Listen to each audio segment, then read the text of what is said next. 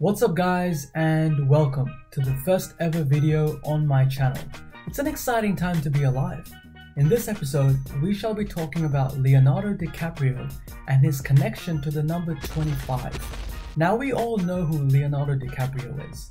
He's an amazing actor who has had some truly iconic performances in movies such as The Wolf of Wall Street, Inception, Shutter Island, which is a personal favorite of mine, Titanic, The Departed, and a whole bunch more. His name has been ingrained in the history of Hollywood cinema. We all know him for being incredibly good looking, no homo, of course, charming, quick witted, and an environmentalist. The man wants to preserve the environment too. Me personally, I don't give two shits about the environment, and I haven't accomplished jack shit. He's a better man than me. That's not really saying much, to be honest. Now, for a man of his status and achievement, one may suspect that he's quite successful with the ladies, unlike you. Bruh. And you'd be right.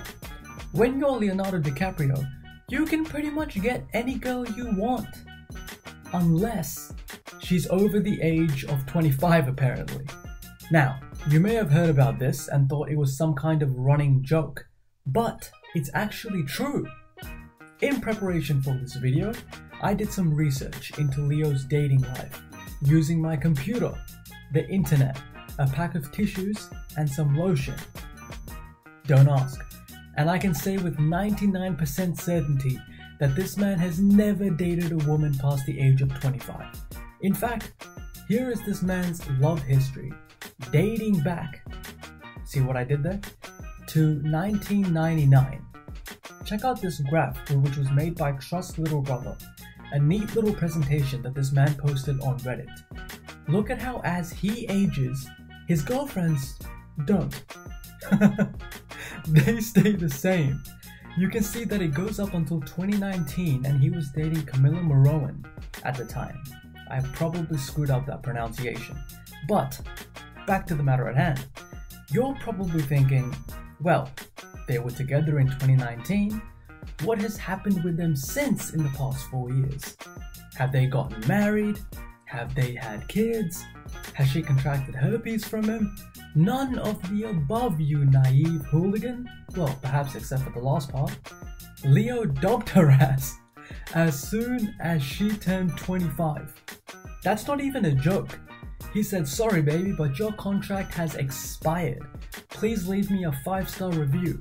My administrative team will call you to set up a severance package. See ya! I should note that it's actually very common for incredibly successful, good looking men who have all the options in the world to date younger women. That's fairly normal and it happens all the time. However, why does he stop dating them when they turn 25? That's a very specific number to just never go past. Does he have a reminder on his phone or something? He just wakes up one day, checks his phone, and goes, Uh oh, her 25th birthday is coming up. I need to excuse myself out of this five year relationship. Just think about this from the girl's perspective. You've been dating Leo for a few years, life is going great, and you're living every teenage girl's dream.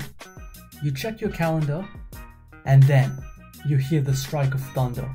You see the flash of lightning, and you notice the ominous clouds approaching. The day you've dreaded is coming. It's happening. You're about to turn 25. Imagine the stress. Imagine being 24 years old and having Leo assure you that you're not gonna end up like all the other girls he got rid of as soon as they turn 25. You're the one. You're special. The one that he's gonna have for the next two weeks. I mean, the one he's gonna have forever. Then, as soon as your heart rate has gone back down, as soon as your blood pressure has settled, as soon as you're blowing out those 25 birthday candles, boom! You're single, baby, and back on the market. Back onto the streets, as they say. Fell for the old Leo's gonna love me past 25 trick, eh? Fool me once. Surely he talks about it with these girls, right? I mean, he's Leonardo DiCaprio. He can get away with this shit. I'm pretty sure these girls know that they're expendable, and they sign a three to five year contract like an NBA player to be his girl. Then he starts the relationship with a predefined expiration date. I'm pretty sure he does this purely for the public image. There's a good to fair chance that he's actually gay, and this whole thing is just a front. Man, what a twist that would be. There's no way these girls don't know what's going on. This information is way too public for them to be completely oblivious. The way that I see it, dating Leonardo DiCaprio is essentially an internship.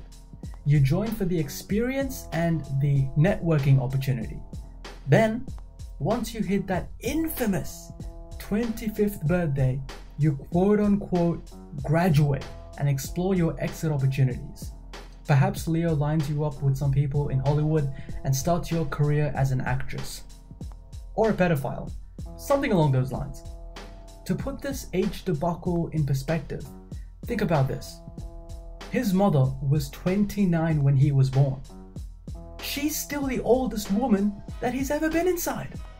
It must be tough for these women. Even at almost 50 years of age, Leo is still one of the most sought after men by women in Hollywood. Chicks are still going crazy for this man, just as crazy as they went for him in the 90s. Imagine turning 26 and realizing that you never have a shot with him. Man, that's got to suck. You've only got so long to execute the game plan until Leo stops viewing you as a woman and starts seeing you as an ancient fossil. What could be a possible reason for this? Maybe, just maybe, Leo doesn't want to settle down. I mean, why would he? Right? Is he going to get married and risk losing half of his $500 million fortune? Or is he going to just cycle through the endless supply of Midwest sorority sisters and keep banging them? There's something to be said there, right? I can't judge this man. To be honest with you guys, not sure if you knew this, but I don't have a bunch of models waiting around to hold my wood. Maybe if I did, I'd also be living like Leo. Different circumstances call for different actions, I say. I guess the final matter is is this creepy or not? I guess there are two sides to the story. On one side, some may consider this kind of gross. If his next girlfriend isn't at least 24, Leo will be twice her age or even older. On the other hand, they are both consenting adults and have the freedom to do whatever they want. I mean, hell, Hugh Hefner spent the last few days of his life getting blowies from hot models, and that fucker was almost a hundred years old. His dick probably looked like a shriveled up raisin, and bro was still getting some action. I don't have erectile dysfunction, and I can't even get any pussy but I'm not the topic of conversation here.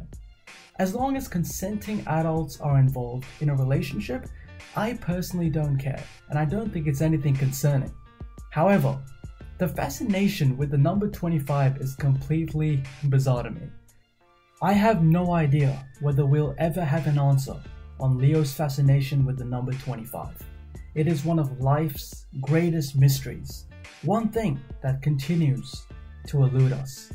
I'm just curious as to how long he can keep it up for. Imagine if he takes this to the grave and just never exceeds 25 for the rest of his life. His tombstone will read Leonardo DiCaprio, amazing actor, individual, humanitarian, a very loving person, in brackets, to those aged 18 to 25. Close bracket. Oh man. Anyway, that's all for the video, guys. That was it. I really hope you guys all enjoyed. Please keep in mind that this is my first ever video, and I know that there's probably plenty of stuff to improve on, and I was really nervous making this video. It's probably why I was stammering, stuttering, stumbling about. If you could, please leave me some constructive criticism below in the comments. That will really help me, or if you want to talk a bunch of shit, you can do that too. It's a free country, eh? Let me know what you guys think about Leo's 25 and under rule. Is it creepy? Is it normal? Is it slightly creepy? Is it way too creepy? Should he be in jail? Let me know. Again, thanks for watching guys. I really appreciate each and every single one of you, especially if you made it all the way to the end. You're amazing. Love you guys and take care. See you in the next one.